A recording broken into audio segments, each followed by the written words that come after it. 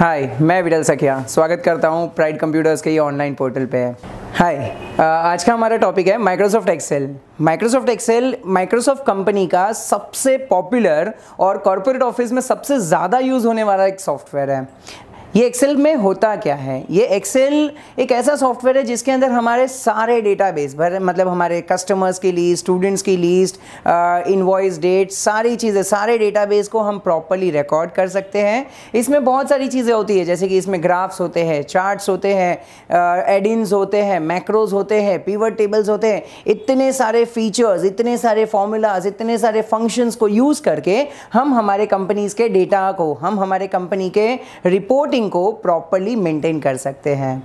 तो चलो आज देखते हैं एक्सेल स्टार्ट कैसे होता है। तो सबसे पहला तरीका एक्सेल स्टार्ट करने का you can go to Windows button Windows button में आप जैसे ही क्लिक करोगे तो आपको बहुत सारे फाइल्स दिखेंगे। ऑल प्रोग्राम पे क्लिक करो। यहाँ पर यू हैव माइक्रोसॉफ्ट ऑफ़िस जैसे आप माइक्रोसॉफ्ट ऑफ़िस पे क्लिक करते हो, आपको एक यहाँ पर सॉफ्टवेयर मिलेगा which is Microsoft Excel 2016 you just click on Excel जैसे ही आप एक्सेल क्लिक करोगे तो आपका एक्सेल का प्रोग्राम स्टार्ट हो जाएगा। अच्छा एक दूसरा शॉर्टकट तरीका भी देख लेते हैं। अंदर अंदर ना जाना हो तो there is one shortcut you can directly press Windows R Windows R button जैसे ही प्रेस करोगे तो आपको विंडोज़ का टूल बार दिखेगा। रन का टूल बार रन का डायलॉग बॉक्स दिखेगा। रन डायलॉग बॉक्स में सिंपली आपको लिखना है Excel just type Excel and press okay आपका एक्सेल स्टार्ट हो जाएगा। अच्छा जैसे ही एक्सेल स्टार्ट हो जाता है, यहाँ पर आप देखोगे ना तो कुछ आपको पहले तो टेम्पलेट्स दिखेंगे।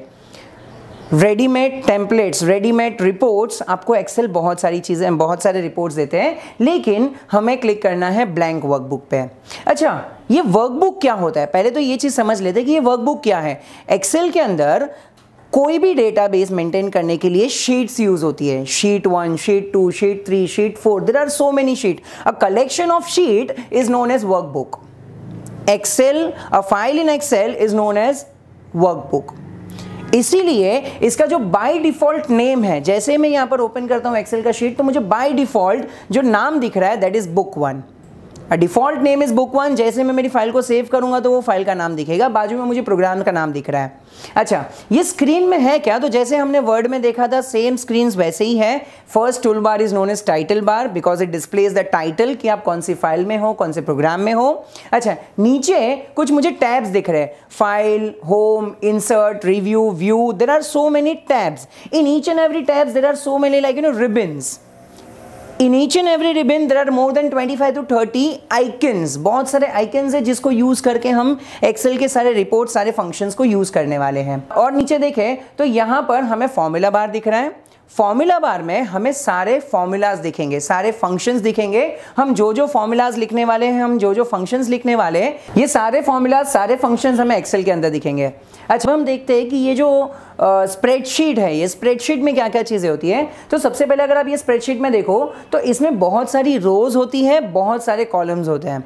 अच्छा रोज को रिप्रेजेंटेशन एक्सेल में वन टू थ्री फोर से किया गया है। That is one two three four five horizontal rows होते हैं और vertical that is A B C D columns होते हैं।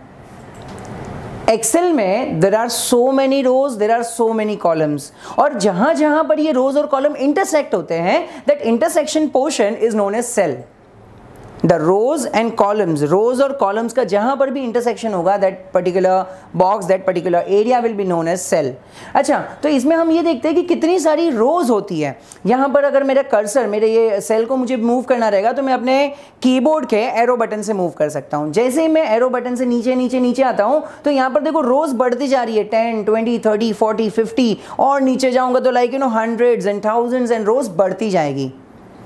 पहले तो आप ये समझ लो कि ये एक शीट में मैं जितना भी डेटा टाइप करूँगा, ये ज़रूरी नहीं है कि एक ही पेज में ऐप प्रिंट होगा। एक शीट के अंदर भी हज़ारों पेजेस होते हैं। अच्छा चलो मुझे देखना है कि भाई मेरे पास कितनी रोज है। मैं जैसे ही नीचे नीचे नीचे जाता हूँ तो ये तो खत्म ही नहीं हो रहा है। मैं काम करता हूँ देर is one shortcut key which is control and down arrow key. जैसे ही मैं कंट्रोल और डाउन करूँगा तो मुझे टोटल नंबर ऑफ़ रोज दिखेगा। That is ten lakhs forty eight thousand five hundred and seventy six rows इतनी सारी रोज हमारे पास एक्सेल में है। अच्छा जबकि अगर मैं कॉलम्स की बात करूँ तो जैसे मैं राइट एरो की प्रेस करता हूँ राइट राइट राइट जा रहा हूँ तो ए बी सी डी यहाँ पर जाते जाएगा जेड तक जाएगा। अच्छा जेड के बाद क्या आएगा? तो जेड के बाद ए ए A B A C A D मतलब ए के साथ पूरा A B C D B के साथ A B C D C के साथ ए बी सी डी वैसे लास्ट में एक्स एफ़ डी तक। अच्छा ये कैसे जाना है? तो कंट्रोल और राइट एरो की। जैसे ही आप कंट्रोल और राइट एरो की प्रेस करो तो वो लास्ट में एक्स एफ़ डी तक जाएगा।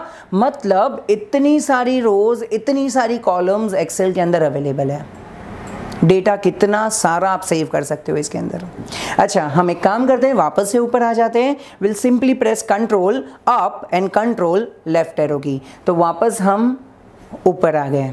अच्छा ये जो ऊपर आ गए, इसका एड्रेस देखो, ऊपर आपको नेम बॉक्स में दिख रहा है। जैसे ही मेरा कर्सर फ़र्स्ट रो के फ़र्स्ट कॉलम में है, मुझे वहाँ पर नेम बॉक्स में दिख रहा है A one that is my address bar जहाँ पर मुझे मेरे सेल का एड्रेस पता चलेगा कि मेरा सेल है कहाँ पर।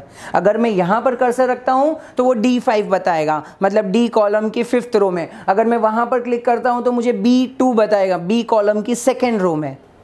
जहाँ पर मेरा कर्सर रहेगा, उसका एड्रेस मुझे रिप्रेजेंट करेगा। और एक्सेल में रिप्रेजेंट करने का तरीका यही है कि पहले कॉलम का नाम, फिर रो का नंबर तो आपको पता चल जाएगा कि उसका एग्जैक्ट एड्रेस क्या है। बाजू में उसके देखो फॉर्मूला बार है। नेम बॉक्स के बाजू में फॉर्मूला बार है, जिसमें सारे फॉर्मूलाज दिखते हैं। अच्छा जैसे मैंने एक्सेल में आपको पहले भी बताया कि एक्सेल के अंदर सारा कैलकुलेशन होता है। मैथमेटिकल कैलकुलेशन होता है। तो क्या मुझे बताओ ज़रूरी है कि मैं अगर फाइव प्लस फाइव लिख के एंटर करूँ तो आंसर आएगा। क्या लगता है? आंसर आना चाहिए? नहीं आंसर नहीं आएगा। क्यों? क्योंकि आपने ये जो लिखा फाइव प्लस फाइव वो एक्सेल ने एज अ इनपुट ले लिया। अगर मुझे उसका आंसर चाहिए तो आपको एक चीज़ हमेशा याद रखनी है। एक्सेल में every formula should start with equal to sign पहले आप इक्वल टू प्रेस करो, फिर आप जो कैलकुलेशन दो, आप एडिशन सप्रेक्शन मल्टीप्लीकेशन डिविजन जो भी फॉर्मूला दो पावर जो भी फॉर्मूलाज दो, सारा calculation Excel automatically within a fraction of second आपको करके दे देगा। जैसे कि से फॉर एग्ज़ाम्पल मैं लिखता हूँ equal to five plus five multiply by इतना इतना इतना divide by so and so you know just enter press करो। देखो, तुरंत उसका आंसर आ गया। मतलब इक्वल टू देने से एक्सेल ऑटोमेटिकली उसका कैलकुलेशन कर लेता है। अब इसका एक एग्ज़ाम्पल भी देखते हैं। जैसे से फॉर एग्ज़ाम्पल हम एक छोटा सा वाउचर क्रिएट करते हैं, छोटा सा बिल वाउचर क्रिएट करते हैं, जिससे आपको ये कैलकुलेशन मेथड ज़्यादा अच्छे से समझेगा।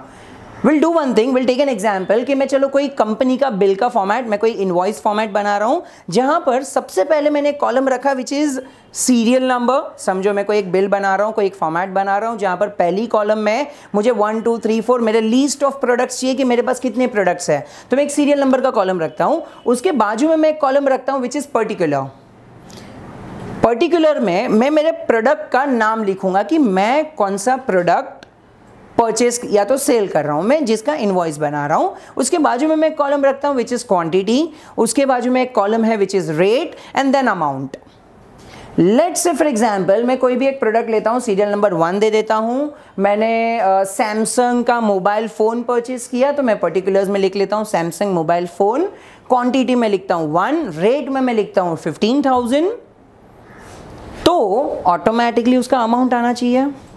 अच्छा कैलकुलेशन कैसे कर सकते हो? तो जैसे हमने पहले ही अभी बेसिक में देखा मल्टीप्लीकेशन डायरेक्टली हम कर सकते हैं। You can just just press equal to and then one you can write one multiply by fifteen thousand जैसे ही आप एंटर करो तो उसका आंसर आ जाएगा। लेकिन लेकिन हमने इसमें क्या किया? इसका आंसर तो आ गया, लेकिन ये सिर्फ़ अभी के लिए आया है। फ्यूचर में अगर मैं वन की जगह पर टेन कर दूँ क्वांटिटी में अगर उसका इंक्रीज कर देता हूँ तो मुझे बताओ क्या वो अमाउंट ऑटोमेटिकली चेंज होगा? नहीं। क्यों? क्योंकि आप वो फॉर्मूला पे देखो क्लिक करो फॉर्मूला बार में आपको देखो क्या दिख रहा है?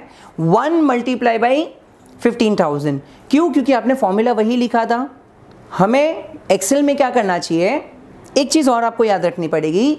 Never write values in formula आपने अगर वो वन लिखा फिफ्टीन थाउज़ेंड लिखा तो हमेशा के लिए वो वन और फिफ्टीन को ही मल्टीप्लाई करता रहेगा। Instead of that what you can do is there is delete press करके डिलीट कर देते हैं। There is one more technique you can say equal to जहाँ पर अब तक हम वन लिखते थे, उसकी जगह पर हम टेन को सिलेक्ट कर लेते हैं। जैसे ही मैंने टेन सिलेक्ट किया, देखो मेरा काम है क्लिक करना।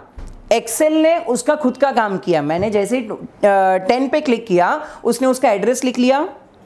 मल्टीप्लाई बाय रेट मैंने रेट के ऊपर क्लिक कर दिया। मतलब इसका मीनिंग क्या होता है? कल को वैल्यू कोई भी आ जाए टेन के जगह पर आप कुछ और वैल्यू लिखो फिफ्टीन थाउज़ेंड फिफ्टीन थाउज़ेंड की जगह पर कुछ और वैल्यू लिखो फ्यूचर में ये वैल्यू ऑटोमेटिकली अपडेट होती रहेगी। मैंने सेल का रेफरेंस दे दिया है। जैसे ही मैं अभी एंटर करूँगा तो इसका करेक्ट आंसर आ गया। इससे बेनिफिट ये हुआ कि फ्यूचर में अगर मैं वो टेन की जगह पर कोई और वैल्यू लिखता हूँ या फिफ्टीन थाउज़ेंड की जगह पर कोई और वैल्यू लिखता हूँ तो वो वैल्यू ऑटोमेटिकली अपडेट होगा। सो so, एक चीज़ हमें ये याद रखनी है कि कभी भी फॉर्मूलाज इक्वल इक्वल टू से स्टार्ट होगा और सेकेंडली वैल्यूज़ की जगह पर आप रेफरेंसेस यूज़ दो चीज़ें सीखने मिलती है इसे पहली तो formulas should start with equal to sign and secondly you should give reference so एक वैल्यूज़ हमने लिख ली। अब एक काम करते हैं, हम इसी एग्ज़ाम्पल को आगे कंटिन्यू करते हैं, जिसमें से for example serial number two दे देते हैं। हमने एक और प्रोडक्ट परचेज कर लिया। Like let say for example Nokia phone पहले सैमसंग लिया था, अब नोकिया ले लेते हैं।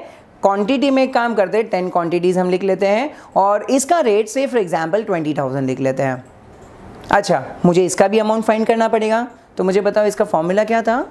सेम वही जो हमने ऊपर लिखा था, क्या था फॉर्मूला इक्वल टू प्रेस करके आपको रेफरेंस देना है। तो जहाँ पर हमने क्वांटिटी लिया था, वो क्वांटिटी को सिलेक्ट कर दें मल्टीप्लाई करके रेट को सिलेक्ट करके एंटर करते हैं। जैसे ये कि अगर सपोज़ करो, मेरे पास बहुत सारे प्रोडक्ट आ रही है तो एक प्रोडक्ट हो गया, दो प्रोडक्ट हो गया, कल को ऐसे हज़ारों लिस्ट आ जाएगी तो मैं क्या करूँ? मैं हर टाइम क्या ये फॉर्मूला लिखते बैठूं? नहीं। इसी चीज़ के लिए एक्सेल ने एक और फीचर बनाया है दैट इज़ आपने जो फॉर्मूला लिखा है, वो फॉर्मूला को आप ड्रैग कर सकते हो। कैसे ड्रैग कर सकते हैं? मैंने फॉर्मूला कहाँ लिखा है? अमाउंट में। तो मैं अमाउंट के फॉर्मूला पे क्लिक करता हूँ। नीचे देखो, यहाँ पर कॉर्नर पे आपको फिल हैंडल बटन दिख रहा है। जैसे ही मैं वो फिल हैंडल बटन पे कर्सर लेके जाऊँगा, देखो मेरा व्हाइट कलर का कर्सर ब्लैक कलर का हो जाएगा। मतलब now my cursor is ready to drag that formula जैसे ही मैं क्लिक करके नीचे उसको ड्रैग करूँगा तो इसका मीनिंग क्या होता है कि मैंने जो फॉर्मूला ऊपर लिखा है, वही फॉर्मूला को आप नीचे तक कॉपी कर लो। मैंने नीचे ड्रैग कर दिया, छोड़ दिया तो क्या हुआ कि देखो अभी सारी वैल्यू ज़ीरो ज़ीरो ज़ीरो दिख रही है। क्यों? क्योंकि मेरे पास रेट और क्वांटिटी नहीं है। अच्छा फ्यूचर में चलो मैंने say for example serial number three दे दिया कोई दूसरे प्रोडक्ट का नाम लिख लिया मैंने कुछ दूसरा क्वांटिटी लिख लिया लाइक से फॉर एग्जांपल 15 क्वांटिटी 25,000 रेट देखो जैसे ही मैं 25,000 लिख के एंटर करता हूँ ऑटोमेटिकली उसका कैलकुलेशन हो रहा है। मतलब मुझे फॉर्मूला बार बार लिखने की ज़रूरत नहीं है। और इन केस फ्यूचर में अगर कोई वैल्यूज़ चेंज भी होती है तो वो ऑटोमेटिक अपडेट हो जाएगी। ये बहुत ही अच्छा फ़ंक्शन है जो एक्सेल में आप यूज़ कर सकते हो, जिससे कैलकुलेशन आपका बहुत ही अच्छे तरीके से हो सकता है और एकदम क्विकली हो सकता है। अच्छा लेट से फॉर एग्ज़ाम्पल ये तो हमारे पास एक एग्ज़ाम्पल हो गया अमाउंट एक और कॉलम लेते हैं विच इज़ डिस्काउंट डिस्काउंट के अंदर हम क्या करेंगे? से फॉर एग्ज़ाम्पल मुझे सैमसंग के फ़ोन के ऊपर 10 परसेंट डिस्काउंट मिला है तो मैं जैसे यहाँ पर 10 परसेंट लिखता हूँ तो मुझे आफ्टर डिस्काउंट क्या वैल्यू होता है? मुझे वो नेट वैल्यू में चाहिए। तो मैं एक और कॉलम हेड बना लेता हूँ विच इज़ नेट वैल्यू लेकिन ये 10 परसेंट अभी माइनस कैसे होगा? 10 quantity multiply by 15,000 rate one lakh fifty thousand answer आ गया। लेकिन वो वन लैख फिफ्टी थाउज़ेंड के ऊपर 10 परसेंट डिस्काउंट देना है। तो वो डिस्काउंट माइनस होके मेरा वैल्यू यहाँ पर नेट वैल्यू में दिखना चाहिए। अच्छा माइनस करने के पहले पहले तो मुझे इसका कैलकुलेशन करना पड़ेगा कि 10 परसेंट होता कितना है। वन लैख फिफ्टी थाउज़ेंड का 10 परसेंट होता कितना है। तो मुझे बताओ, आपने कुछ मैथ्स वगैरह में सीखा है? वन लैख फिफ्टी थाउज़ेंड का 10 परसेंट कैसे कैलकुलेट करते हो? मल्टीप्लाई करते हैं। बस वही चीज़ यहाँ पर करनी है। वही चीज़ यहाँ पर करनी है, इसका कोई ऐसा स्पेशल फॉर्मूला नहीं है। What you can do is I can create a new column which is discount value और वहाँ पर मैं एक फॉर्मूला लिखता हूँ इक्वल टू हम क्या करते हैं मल्टीप्लाई ना, बस वही चीज़ यहाँ पर करेंगे। One lakh fifty thousand cell का रेफरेंस दे देते हैं। मल्टीप्लाई बाय डिस्काउंट का रेफरेंस जस्ट एंटर करो और देखो उसका आंसर आ जाएगा। मतलब वन लैख फिफ्टी थाउज़ेंड का टेन परसेंट आपको मिल गया। बस, अब तो क्या है, मेरे पास अमाउंट भी है डिस्काउंट का वैल्यू भी है नेट वैल्यू में जाके सीधा माइनस कर देते हैं। You can write your equal to amount minus discount value just press enter उसका आंसर आ गया। समझ रहे हैं? अच्छा अब हम क्या कर सकते हैं? फॉर्मूला है, जैसे अमाउंट को हमने ड्रैग किया, वैसे हमने जहाँ जहाँ पर फॉर्मूला लिखा है, कहाँ पर फॉर्मूला लिखा है? डिस्काउंट वैल्यू में और अमाउंट में। बस ये दोनों वैल्यू को सिलेक्ट करके ड्रैग कर देते हैं। तो उसको भी नीचे तक हमने कॉपी कर दिया। समझ रहे हैं? अरे असाइनमेंट्स और मैंने ये मेरी फाइल्स डाउनलोड बटन में दी हुई है। प्लीज़ उसको डाउनलोड करो। और हाँ जब तक उसको प्रैक्टिस नहीं करोगे, तब तक आपको ये सारी चीज़ें नहीं समझेगी। सो प्लीज़ डाउनलोड करो प्रैक्टिस करो, और अपलोड कर दो। जिससे मुझे समझेगा कि आपके कंसेप्ट कितने क्लियर हुए हैं। उम्मीद करता हूँ कि ये वीडियोज़ आपको अच्छा लगा रहेगा। ये वीडियोस देखने के लिए हमसे जुड़े रहने के लिए धन्यवाद।